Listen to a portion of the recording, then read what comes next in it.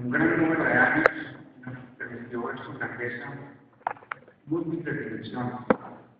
Mi papá la hablaba y nos preguntaba, ¿quién es la mujer más bella de Colombia? Esta pregunta muy posiblemente acompañada de un pellizco en los libros. Así que con pregunta y pellizco diario crecimos teniendo la mejor madre y a la más bella de Colombia. Mi mamá era una mujer de unos sentimientos puros, llena de compasión y de piedad, y nos dio un ejemplo divino de humildad y de sencillez.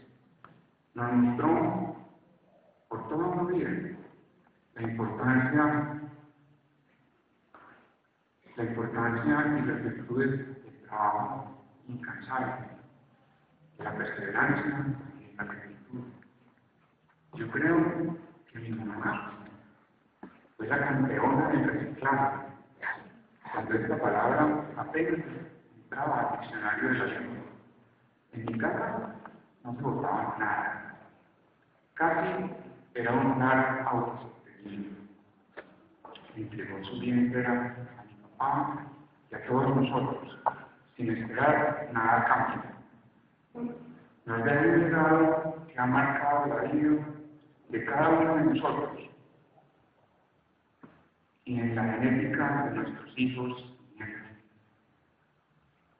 Además, de una mujer de una vocación cristiana pura y auténtica, estamos seguros que Dios la tiene esclavo, descansando, y junto con mi papá y viendo por el futuro de esta gran familia. Le pedimos a Dios por su alma y que nos ilumine a nosotros para que podamos continuar con su ejemplo por varias generaciones.